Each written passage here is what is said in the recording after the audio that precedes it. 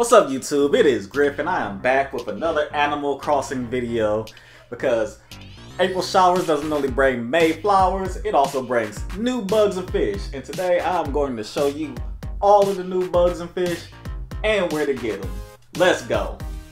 So the first fish we're going to be looking at today is the betta fish. It is active between the hours of 9 a.m. and 4 p.m. and can be found in rivers. Next up we have the frog which is a little less pricey, but everybody still wants one. Active all day long, found in ponds naturally. After that, we have the giant trevally, which sells for a nice chunk of change. And he is active all day also, found in the pier. Pier fish are hard to get for me.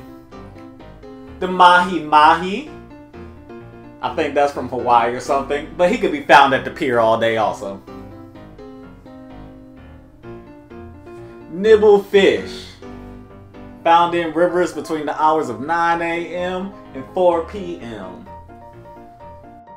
The rainbow fish, which can be found in rivers between 9 a.m. and 4 p.m. Just like the nibble fish, you'll be catching a lot of these together. Now we're on to the bugs. The banded dragonfly between 8 and 5 can be found flying around on the island the diving beetle. I already have a couple of these guys. You can catch them between 8 a.m. and 7 p.m. in ponds and rivers. Bring out your net.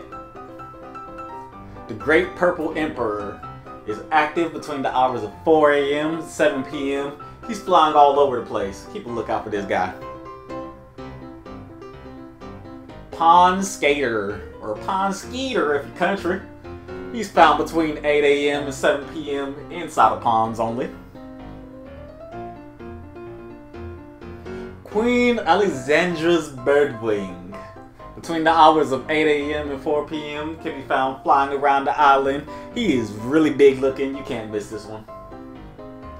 The Rosalia batesi beetle is active all day. Cut you down a tree and then just leave the stump. The violin beetle. Playing his classical music. He can be found on tree stumps also.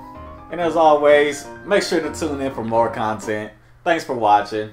Make sure to hit the like. Make sure to hit the subscribe. Most importantly, make sure to help me quit my job.